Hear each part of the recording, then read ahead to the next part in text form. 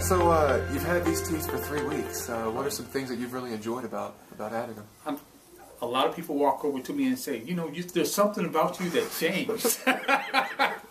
so you got your teeth fixed. They really look nice. So I, I, a lot of people tell me that my teeth look nice.